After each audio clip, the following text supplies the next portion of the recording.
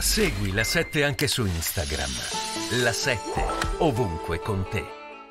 Questo, questo è un tema, eh, Quirico, eh, la- qual è la tua analisi? Che questo è tutto un popolo che ormai non vede una, una seconda soluzione, cioè questo scontro dovrà essere consumato fino in fondo, cioè dovrà essere consumato fino a che uno dei due non eh, verrà sconfitto o esiste a un certo punto un esito negoziale possibile ma semplicemente adesso è troppo presto?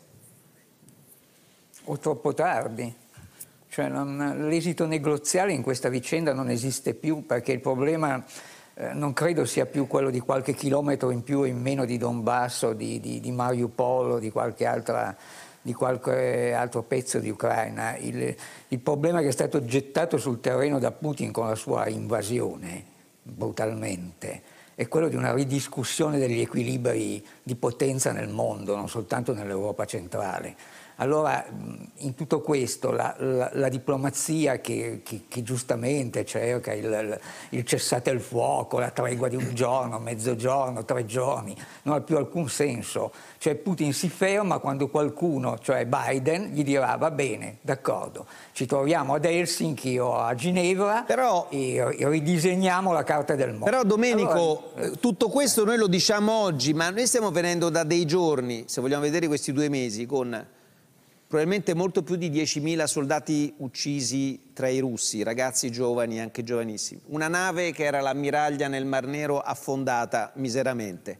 Oggi eh, la struttura, una delle principali più sofisticate strutture del Ministero della Difesa eh, vicino Mosca eh, in fiamme, che non si sa se per gli russi sia meglio augurarsi che sia stato un incidente oppure un sabotaggio, no? Ma comunque ci sono questi segnali di fragilità nella sua forza della Russia, anche nell'immagine esterna che sta dando, no? Che potrebbe a un certo punto portare, portare Putin o qualcuno vicino a lui a, a trovare lui stesso una soluzione per uscirne, no?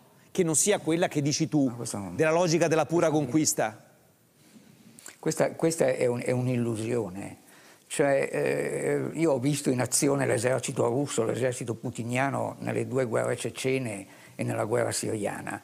Allora, lo dico con, eh, con strazio, eh, quello che raccontava la, la- la signorina, la ragazza ucraina.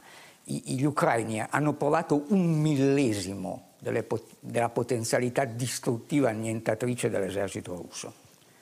Non- la capacità operativa dell'esercito russo può essere bassa, come ha dimostrato questa prima parte della guerra, ma questo non significa niente. La capacità di distruzione dell'esercito russo è immensa. Mariupol la potete moltiplicare per tutto il territorio ucraino. Voi mi direte, ma perché non l'ha, non l'ha usata?